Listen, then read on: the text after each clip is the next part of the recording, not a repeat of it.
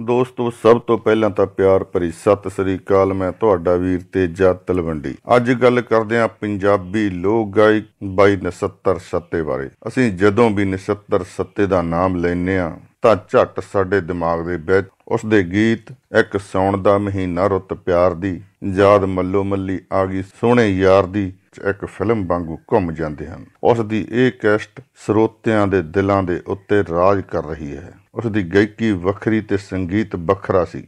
ਸਾਡੀ ਬਦਕਿਸਮਤੀ ਸੀ, ਨਛੱਤਰ ਸੱਤੇ ਨੂੰ ਅਸੀਂ ਬਹੁਤ ਹੀ ਘੱਟ ਸੁਣ ਸਕੇ। ਰੁੱਤ ਪਿਆਰ ਦੀ ਕੈਸਟ ਸਰੋਤਿਆਂ ਨੇ ਬੇਹੱਦ ਪਸੰਦ ਕੀਤੀ। ਇਸ ਕੈਸਟ ਦੇ ਨਾਲ ਬਾਈ ਨਛੱਤਰ ਸੱਤਾ ਸਦਾ ਲਈ ਅਮਰ ਹੋ ਗਿਆ। ਬੇਸ਼ੱਕ ਇਸ ਦੇ ਹੋਰ ਗਾਣੇ ਵੀ ਮਾਰਕੀਟ ਵਿੱਚ ਆਏ। ਸਭ ਤੋਂ ਵੱਖਰੇ ਤੇ ਹਿੱਟ ਗਾਣੇ ਰਹੇ। ਤੂੰ ਸੱਜਣਾ ਪਰਦੇਸ ਗਿਆ, ਫਿੱਕਾ ਰੰਗ ਅੱਜ ਦੀ ਦੁਪਹਿਰ ਦਾ। ਮਰੇ ਨਾ ਕਿਸੇ ਦਾ ਪਤੀ, ਪਰਬਦਗਾਰ ਵਰਗੇ ਗੀਤਾਂ ਨਾਲ ਨਛੱਤਰ ਸੱਤਾ ਸਦਾ ਲਈ ਅਮਰ ਹੋ ਗਿਆ। ਨਛੱਤਰ ਸੱਤੇ ਦਾ ਬਚਪਨ ਭਦੌੜ ਪਿੰਡ ਆਦਮਪੁਰ ਦੀਆਂ ਗਲੀਆਂ ਦੇ ਵਿੱਚ ਗੁਜ਼ਰਿਆ। ਬਾਈ ਨਛੱਤਰ ਸੱਤਾ 1992 ਦੇ ਵਿੱਚ ਇੱਕ ਭੈੜੀ ਬਿਮਾਰੀ ਦਾ ਸ਼ਿਕਾਰ ਹੋ ਕੇ ਸਾਨੂੰ ਸਦਾ ਲਈ ਅਲਵਿਦਾ ਆਖ ਗਿਆ। ਪਿਛਲੇ ਦਿਨੀ ਜਦੋਂ ਆਦਮਪੁਰ ਅਸੀਂ ਪਹੁੰਚੇ ਤਾਂ ਮਨ ਬਹੁਤ ਹੀ ਉਦਾਸ ਹੋਇਆ। ਨਛੱਤਰ ਸੱਤੇ ਦੀ ਧਰਮ ਪਤਨੀ ਬੇਹੱਦ ਗਰੀਬੀ ਹਾਲਤ ਵਿੱਚ ਸੀ। ਉਸ ਦੀਆਂ ਦੋ ਧੀਆਂ ਦਾ ਵਿਆਹ ਹੋ ਚੁੱਕਿਆ ਹੈ। ਧਰਮ ਪਤਨੀ ਤੋਂ ਪਤੀ ਦੀ ਸੱਟ ਅਜੇ ਚੱਲ ਨਹੀਂ ਸੀ ਹੋਈ ਤੇ ਮਗਰੇ ਹੀ ਪੁੱਤ ਤੁਰ ਗਿਆ। ਘਰ ਦੇ ਹਾਲਾਤ ਬਹੁਤ ਹੀ ਖਰਾਬ ਹੋਏ।